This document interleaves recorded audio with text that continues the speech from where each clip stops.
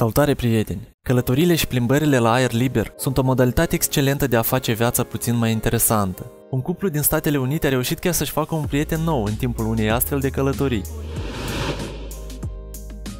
Scott Brown și soția sa se plimbau prin pădurile înzepezite din Washington. Ei se îndreptau către o cascadă foarte populară din zonă, când la un moment dat au observat ceva pe traseu. Scott a glumit spunându-i soției sale că e un urs. Când s-au apropiat mai aproape, au văzut că e un câine mare, negru și pufos. Cățelușul părea fericit, așa că cuplul nu și-a făcut griji de el și au pornit mai departe. Dar nu a fost ultima dată când s-au întâlnit cu el. Peste câteva sute de metri, au observat că el mergea după ei, se pare că câinele înțelegea că cuplul a venit să se bucure de atracțiile și priveliștea minunată din zonă, pentru că după cum povestește Scott, câinele stătea și aștepta atunci când cuplul făcea fotografii, iar apoi continua mersul împreună cu ei. Când au ajuns la cascadă, ei au decis să facă o pauză și să se familiarizeze cu noul lor prieten. Când Scott s-a uitat la medalionul de pe gâtul câinelui, a înțeles că totul e în regulă, pentru că pe el scria Bună, sunt Smokey, locuiesc în apropiere, așa că vă rog să nu mă luați cu voi. Îmi place uneori să urmăresc drumeții. Se pare că nu e prima dată când face asta. Pe cealaltă parte a medalionului scria Nu vă faceți griji, mă voi întoarce acasă când voi fi obosit.